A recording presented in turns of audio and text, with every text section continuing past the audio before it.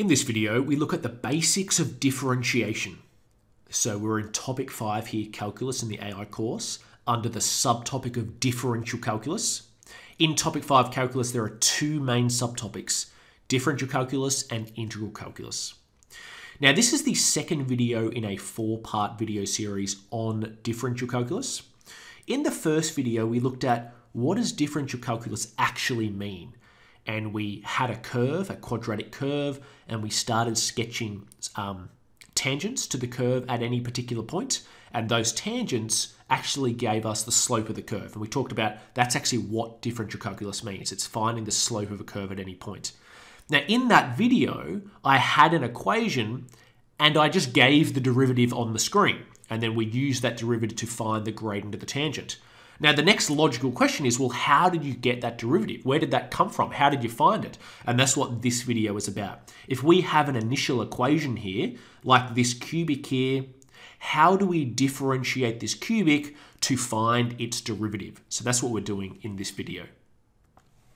Okay, let's look at the rule to follow here. We'll talk this through and then we'll go through, uh, through th these three different examples here.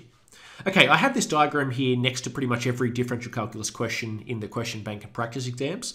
So if I initially have ax to the b, where a is just the coefficient of x, so this, is, this could just be a number, like 2 or 5 or a fraction maybe, and b is just the power on x, when I want to differentiate this, what we do is we bring the power down, the b down in front of the x, and then we subtract 1 off the power.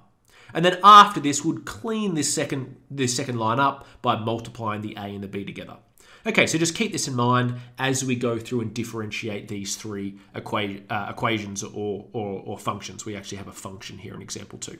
Okay, example one, we have an equation here, so y equals, as opposed to a function, which is f of x equals. The derivative we'll call y dash. Another way, another notation for the derivative in equation form is actually dy dx. So you'll see either of these two notations. And dy dx actually stands for the change in y over the change in x. And that kind of gets to the core roots of what differential calculus is all about, about finding um, the, the, the, the, the slope of, of a tangent is kind of like finding the slope of a secant, but we won't get into that here. So this is the change in y over the change in x, dy dx, but in simple terms, we can just call that y dash. Okay, let's go ahead and differentiate these four terms here. 5x to the 3. The 3 comes out the front of the x and we subtract one off the power. So this will be, we leave that a out the front, like you can see here. And then we bring the 3 down and then we subtract one off the power. So we have differentiated this first term here. Let's look at this second term. The negative 7 will stay out the front. The 2 will come out the front of the x, and then we subtract 1 off the power. That's the second term differentiated. Let's now do the third term. Now just keep in mind here, when we have 3x, there's a hidden 1 on the power of x. It's just unwritten. So this will be, we keep the 3 at the front, we bring the 1 down, and then we subtract 1 off the power. So 1 goes to 0. And then finally, this 12 here is just a constant, it's just a number. Whenever we differentiate just a constant, it goes to 0. So I can just say plus 0 here. Okay, we have differentiated. Let's now go and clean this up to make it look a bit nicer. So y dash is equal to, this first term here, 5 times 3 is 15, so 15 x squared. The second term, the negative 7 will multiply by the 2 to make negative 14. And the x to the power of 1 will just leave as x. The third term uh, is an interesting one. x to the power of 0 is equal to 1. Anything to the power of 0 is equal to 1. So this is actually 1 times 1. So this is actually 3 times 1, which is just plus 3.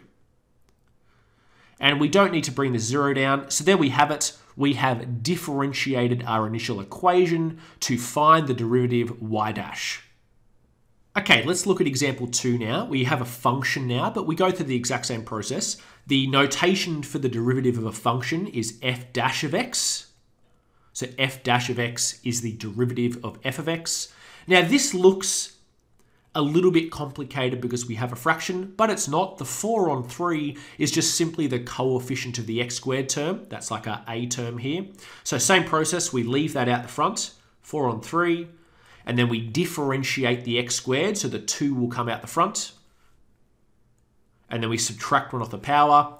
Uh, so 2 take 1 is 1 on the power there, but we don't write the 1, so it's just 2x. We can then multiply the 4 on 3 by the 2 together. So 4 on 3, that'll become 8 on 3. Feel free to check that on your calculator. That's 8 on 3x. And there we have it. There is our derivative f dash of x. Okay, third example. Now, this is about as hard as you'll get in the AI uh, SL course. In the AI HL course, you'll get harder than this, but in the AI SL course, this is about as hard as you'll get when you're wanting to differentiate a term with the x on the bottom of the fraction. You need to do a preliminary step first before you can differentiate.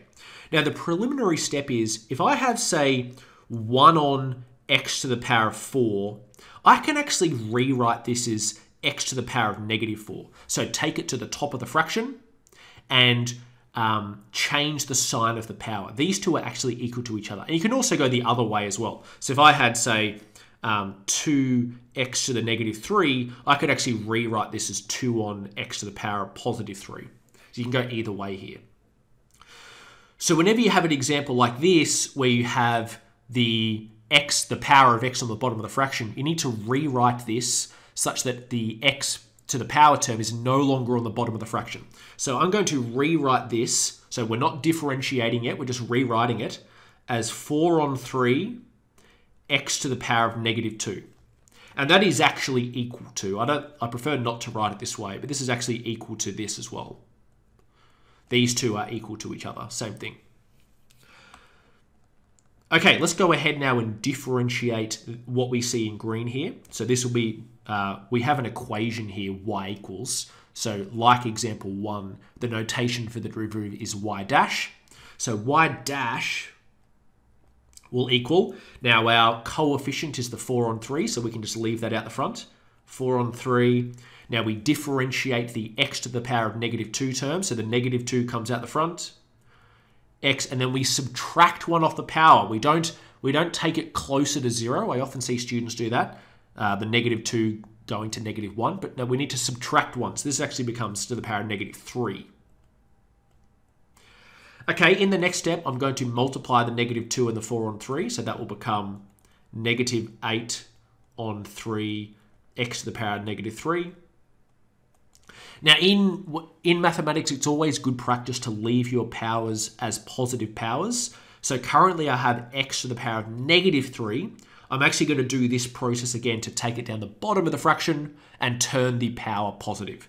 So to leave this in, in nice, clean final form, uh, this will be negative 8 on 3x cubed.